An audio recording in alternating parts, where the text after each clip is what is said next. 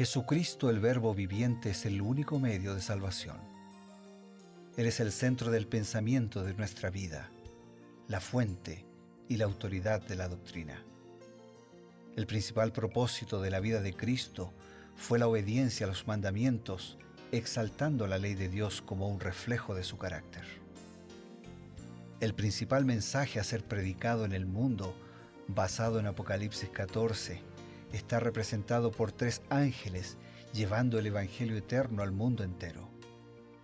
Este mensaje se basa en los encantos inigualables de Cristo y declara que la hora del juicio ha llegado y llama a obedecer los mandamientos de Dios. Mediante su palabra, Dios ha comunicado a los hombres el conocimiento necesario para la salvación. Las Santas Escrituras deben ser aceptadas como dotadas de autoridad absoluta y como revelación infalible de su voluntad. Y aunque el canon de las escrituras inspiradas está cerrado, el Espíritu Santo continúa iluminando, amonestando y confortando al pueblo de Dios a través del testimonio de Jesús, el Espíritu de profecía. El camino a la vida se traza a través de un camino angosto que debe ser recorrido con confianza las promesas que Dios dejó a hombres y mujeres fieles que dedicaron sus vidas hasta la muerte por el Evangelio eterno.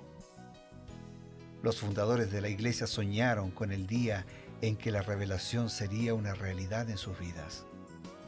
Miraron con los ojos de la fe aquel día glorioso cuando finalmente la promesa sería cumplida en la venida magistral de Jesucristo a esta tierra para recompensar a cada uno según sea su obra.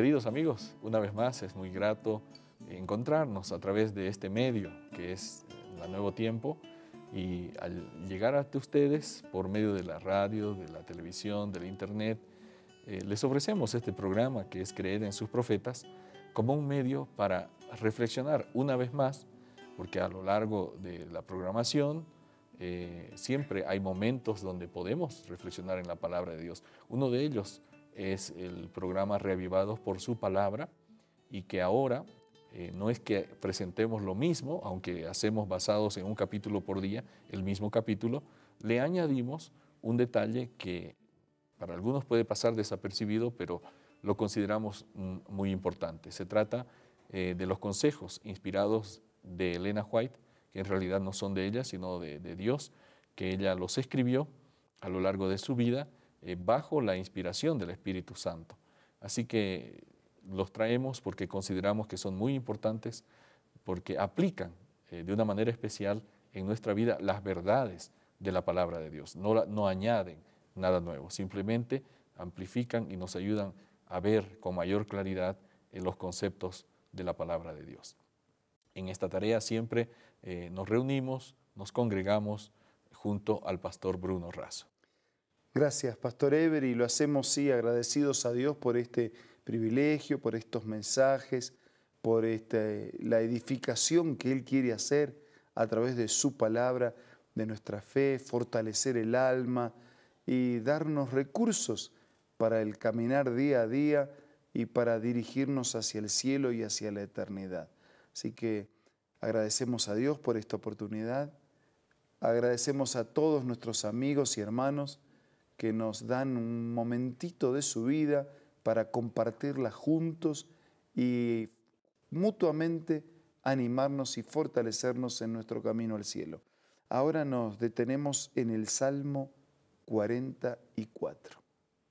El Salmo 44 es un salmo que evoca las liberaciones pasadas, eh, también habla de pruebas presentes, siempre con la confianza de que eh, el Señor puede escucharnos, puede, puede liberarnos eh, y entonces eh, puede darnos sus bendiciones.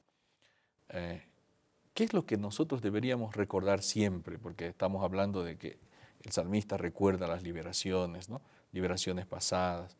De manera específica, Elena White nos dice algo que deberíamos tener siempre en la mente. En el libro El Camino a Cristo, página 104, en cuatro líneas, ella sintetiza así. Debemos reunirnos en torno a la cruz. Cristo y Cristo crucificado debe ser el tema de nuestra meditación, conversación y más gozosa emoción.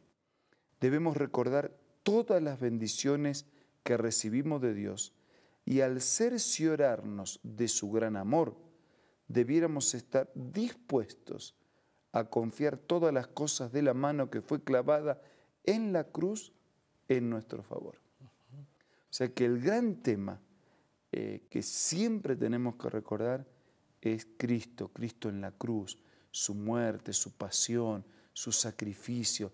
Ese es el costo de nuestro pecado, ese es el precio de nuestra redención. Y eso le va a dar a nuestra vida otra motivación, le va a dar otra identidad, le va a dar otro compromiso, le va a dar otra fuerza, otra, otra visión. Aquí el salmista está hablando de liberaciones pasadas y él está muy agradecido. En cierta medida, en cierta forma, eh, la cruz de Cristo eh, es también una liberación pasada. ¿Cómo hacerla presente? Es decir, cómo hacer que esta liberación sea un motivo de alegría constante y presente. Muy, muy, muy buena pregunta, porque nosotros no estamos simplemente, ya hemos dicho varias veces eso, ¿no? Claro. Para hacer un repaso histórico. Y la muerte de Cristo puede ser un hecho histórico. Exacto. De paso, hay otros que murieron también. Así es. Entonces, eh, podemos repasar de tantos buenos hombres, mujeres que, que murieron, que descansan, pero la muerte de Cristo es única, porque es expiatoria, ¿no? Él pagó por mis pecados. Claro. Él murió para que yo pueda tener vi- vida. Entonces, ¿cómo hago para mantener siempre eso? Este, a través de la palabra, a través de la oración. Elena de Juez tiene otra declaración que dice, deberíamos pasar en lo posible hasta una, Una hora, hora. diaria de contemplación de la vida de Cristo, especialmente las escenas finales. Recordar su agonía, recordar el maltrato que recibió, recordar cómo fue injustamente juzgado por los hombres, recordar cómo fue avergonzado, cómo fue golpeado, cómo fue crucificado, cómo lo guardaron en una tumba, cómo resucitó, porque estoy recordando la esencia de mi vida a través de la Biblia, a través de la oración, a través de la meditación, a través de la contemplación, a través de la asistencia a la iglesia. Claro. Voy a la iglesia para adorar, voy a la iglesia para eh, fortalecerme en el mensaje de la Biblia. Yo he visto en algunas iglesias dos declaraciones. ¿no? Cuando uno entra, encuentra una declaración que dice así, entramos para adorar. Para eso vamos a la iglesia. Y cuando te vas, que estás en sentido contrario, ¿no? Este, allá en, en el fondo de la iglesia, pero que se lo ve al salir, dice, salimos para servir. Entramos para adorar, salimos para servir. Así de esa manera, entonces, eh, mantenemos presente y vigente el sacrificio, el amor y la cruz de Cristo en nuestra vida. Eh, sin embargo, nosotros hablábamos de este Salmo 44 que también está evocando pruebas presentes. Y en el versículo 24 eh, el salmista está diciendo, ¿por qué escondes tu rostro? ¿Por qué te olvidas de nuestra aflicción, de nuestra opresión? Como que le está reclamando, reclamando a Dios. Ahora una cosa interesante, él eh, está expresando, está hablando, está mostrando eh, la situación, su estado de ánimo. ¿Será que es posible o, es, este, digamos, correcto eh, a ir a Dios, seguir orando, a pesar de que nuestro estado de ánimo no sea el mejor? En el tomo 2 del libro Mensajes Selectos, página 278, se resuelve ese conflicto que estás planteando. Dice así, sigan contemplando a Jesús, continúen orando con fe silenciosa, prosigan apoderándose de su fuerza, ya sea que experimenten algún sentimiento o no. Sigan avanzando sin vacilación, como si cada oración ofrecida hubiera sido colocada en el trono de Dios y contestada por aquel cuyas promesas nunca fallan. Prosigan adelante, cantando, entonando melodías a Dios en sus corazones, aunque se encuentren deprimidos por una sensación de peso y de tristeza. Les digo como alguien que sabe que la luz vendrá, que tendremos gozo, que la niebla y las nubes serán rechazadas, y así pasaremos del poder opresivo de las sombras y las tinieblas al sol brillante de su presencia. Ella dice, sigan, sigan avanzando, sigan confiando, continúen orando, crean que van a recibir la respuesta. Y muy pronto, de la opresión de la noche, pasaremos al brillo del amanecer.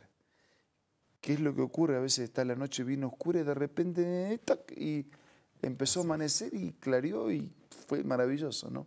Un día brillante. Eh, de la misma manera nosotros tenemos que avanzar por fe y las, las tinieblas se disipan cuando el sol aparece. Eh, muy buena la cita, gracias pastor por presentárnosla.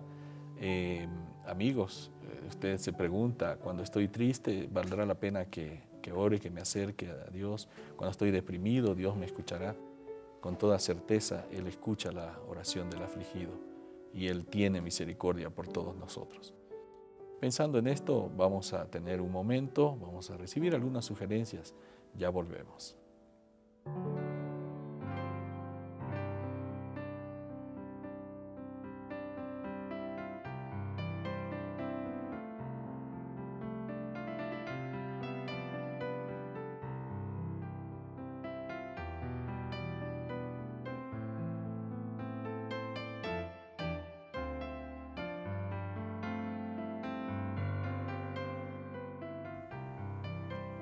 ¿Qué tal?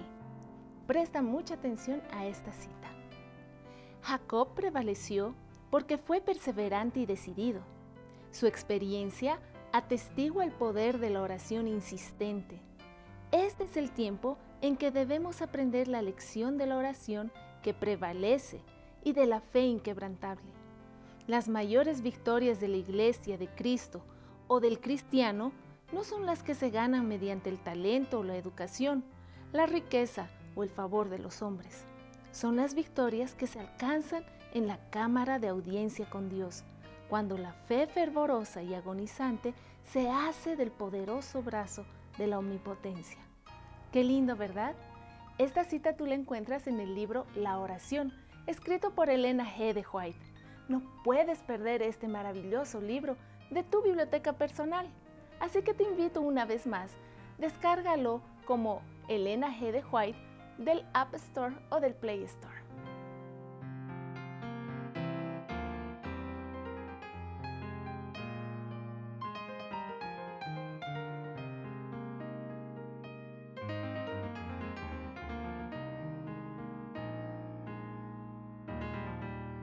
Pues bien, como cada día tenemos un momento especial para recibir también una invitación. Tres palabras San Pablo dijo, orad sin cesar, permanentemente, sistemáticamente, eh, prioritariamente, eh, de rodillas, de pie, al levantarnos, al acostarnos, al andar durante el día, elevando nuestros pensamientos, viviendo siempre en la presencia de Dios a través de la oración y de esa manera nuestra confianza, nuestra dependencia eh, de Él va a ser permanente. Ahora vamos a hablar con Él a través de la oración. Gracias Señor porque podemos buscarte siempre. Gracias porque siempre escuchas. Gracias porque siempre respondes en el momento y de la forma que consideres lo mejor para nosotros. Gracias porque tus sueños son mayores a los nuestros. Ayúdanos entonces a confiar y a vivir en una actitud, en un estilo de vida de permanente oración ante tu gracia. Oramos necesitados y agradecidos en el nombre de Jesús. Amén. Amén. Es así como hemos terminado un programa más de Creed en sus profetas. Nuestra esperanza y la promesa, Dios mediante, encontrarnos el día de mañana. Será hasta entonces.